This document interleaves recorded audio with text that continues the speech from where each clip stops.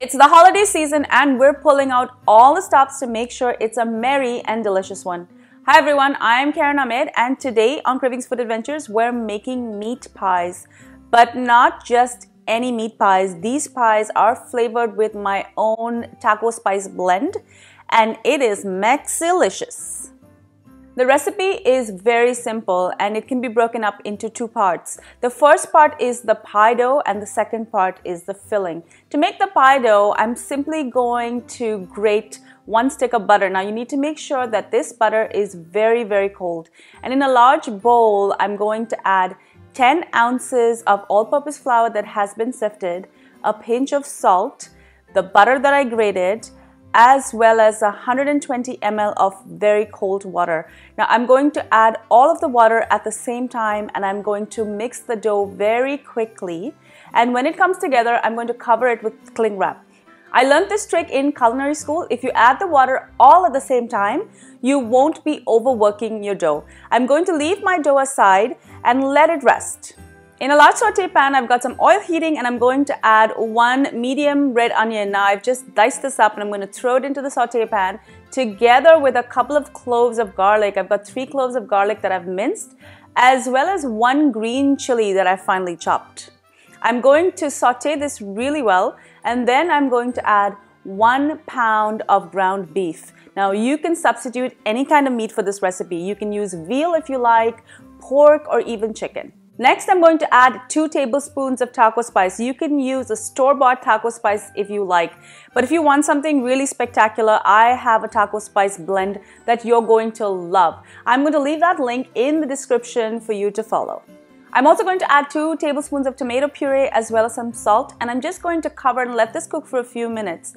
Next, I'm going to add a quarter cup of diced red and green pepper. Now, not only does this add a really great flavor, it also adds a lot of color. I'm going to cover it again and just cook it for another minute. And then it's ready to be finished off with some chopped coriander. Now, I'm going to take my filling and I'm going to leave it aside to cool. My dough is well rested and my filling is cooled and now it's time for the magic to happen. I'm going to roll my dough out and I'm going to use this really inexpensive cutter. I found this pie cutter that's going to make these little mini pies for me. All I'm going to do is press down in my dough and it's going to cut the top and the bottom for me and as you can see it's really really cute. Now if you want to buy this product I'm going to leave a link in the description. This is where I got it. But if you don't want to buy this product or you can't find this product, you can simply use a cookie cutter. Just cut out two rounds and then make sure that the top half has a little hole in it for the steam to escape.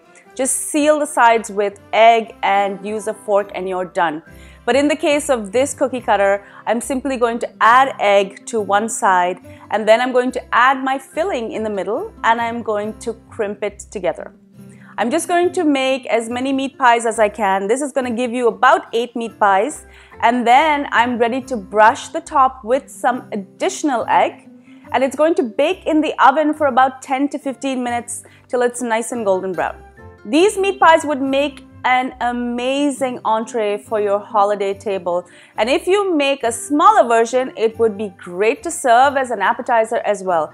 Thank you so much for joining me on Kravings Food Adventures. I do hope you enjoyed this video.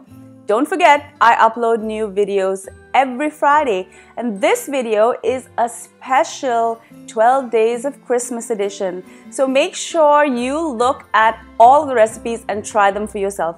Until I see you again from Kravings Food Adventures, happy holidays!